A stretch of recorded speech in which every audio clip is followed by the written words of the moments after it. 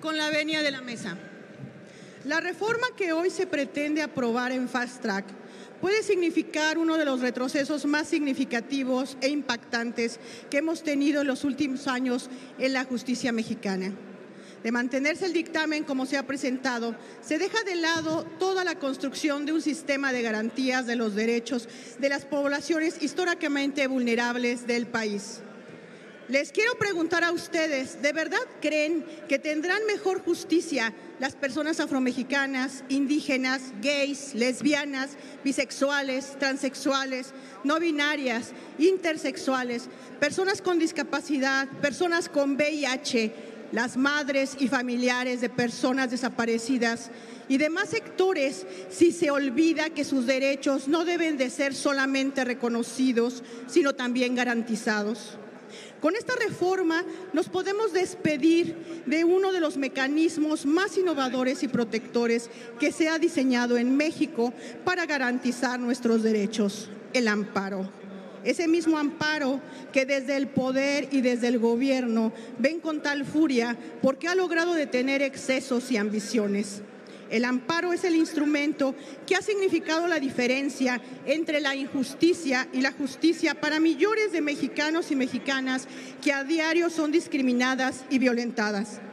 La propuesta de reforma que se hace al artículo 105 no garantiza en ningún momento que si se llega a vulnerar el derecho de alguno de los sectores históricamente excluidos y discriminados, se suspendan los efectos de tales actos o normas que puedan causar daños irreversibles. Realmente ese es el país que queremos construir para las juventudes presentes y futuras.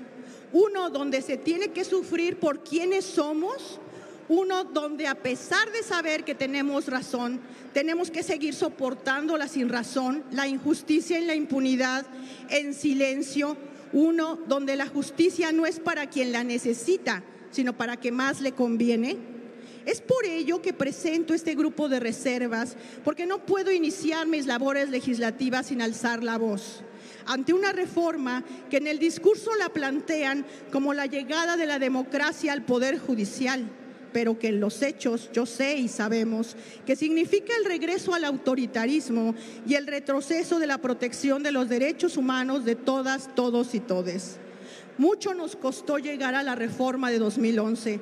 Pareciera increíble, pero en México, un país con más de 500 años de historia y 200 de vida independiente, solo tenemos 13 años reconociendo los derechos y sus garantías que tenemos todas y todas por el simple hecho de existir. Y yo soy la primera en reconocer que nuestro sistema de justicia no es perfecto. La ciudad representa una carrera de resistencia cuando acude a la justicia. Se ha dejado de lado a muchísimas víctimas. Se ha ignorado que no podemos tener justicia sin un aparato judicial fuerte y capacitado. Pero el hecho de que el estado actual de las cosas no sea perfecto no significa que tendríamos que estar planteando cómo lograr que se haga mucho peor. Es fundamental señalar que las victorias más significativas que hemos logrado para avanzar en la protección de derechos de quienes pertenecemos a estos sectores han sido a través del amparo y de los fallos emblemáticos de la Suprema Corte de Justicia.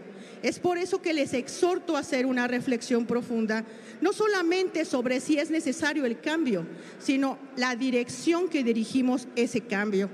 Queremos que todos nuestros esfuerzos sean construir una justicia para las personas con poder o para las personas que sí han sido vulneradas.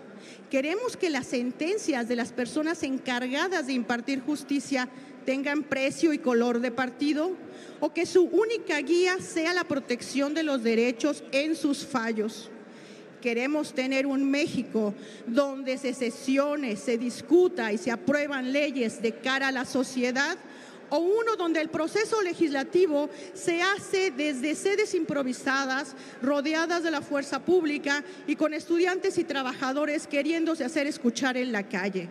El movimiento ciudadano creemos en el cambio orientado correctamente, que es posible construir un México mejor, que los derechos no se pueden echar para atrás y que como legisladoras y legisladores le debemos a México preservar mecanismos jurídicos de protección para todas las personas. Gracias.